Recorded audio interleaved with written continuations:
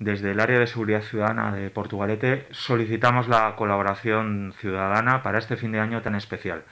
A nadie se nos escapa de la cabeza, y yo creo que todos y todas lo compartimos, que el año 2020 ha sido un año diferente, ha sido un año especial, ha estado marcado por una emergencia sanitaria y una crisis a nivel mundial, mundial como no conocíamos. Y este fin de año, esta noche vieja y esta entrada en el año nuevo, pues seguro que también va a ser especial. No solo porque la emergencia y la pandemia sigue entre nosotros y nosotras, sino porque además para poder evitar la propagación de la COVID-19 siguen vigentes todas las restricciones y algunas específicas para el día de hoy y para el día de mañana.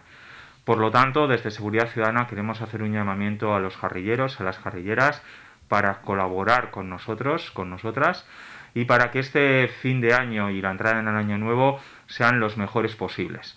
Y actuemos desde una clave de prevención. Si hay alguna emergencia, si hay alguna situación, actuaremos, pero si todos y todas colaboramos serán muchos menores. Eh, este año queremos recordar también hacer una especial incidencia a la limitación del uso de pirotecnia. Ya sabemos que cuando finaliza el año, pues muchos vecinos, muchas vecinas lanzan desde sus viviendas eh, cohetes, bengalas, petardos, eh, que siempre hacemos un llamamiento porque pueden generar accidentes, algún año lo han hecho, pero este año además coincide con que la limitación horaria eh, hace que a las doce y media de la noche ya no se pueda circular por, por, la calle y que muchos niños y muchas niñas con sus familias estarán a esa hora desplazándose desde donde hayan cenado y que por lo tanto pues eh, la situación de peligro, la generar estrés a, estas, a estos viandantes o incluso que pueda haber pequeños accidentes es algo que está en la mano de todos y todas que podamos evitar. Queremos recordar cuáles son las normas fundamentales, las que tenemos que seguir entre todos y todas. A las 6 de la tarde finalizará la actividad socioeconómica, no se va a reanudar hasta las 9 de la mañana y esto significa eh, especialmente que tenemos que estar en la medida de lo posible en casa, celebrando las cosas en familia, intentando no juntarnos más de dos unidades convivenciales y limitar al máximo el número de personas que nos vamos a juntar. Hay una recomendación de no superar eh, las seis personas.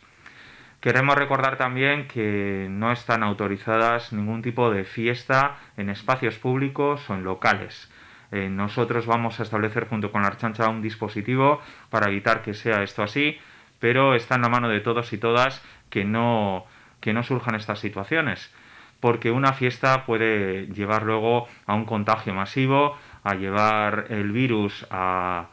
la vivienda, a la casa, a contagiar a Laita, a la ama, a Itite, a mamá y generar un problema familiar muy importante. Asimismo, pues simplemente queremos desearos que paséis la mejor noche posible, que disfrutemos de, de, la manera en la que podemos disfrutar ahora, en pequeños grupos, en unidades convivenciales, y recordar que, que tenemos que evitar las aglomeraciones, el juntarnos para poder seguir juntos. Urte de Rión a todos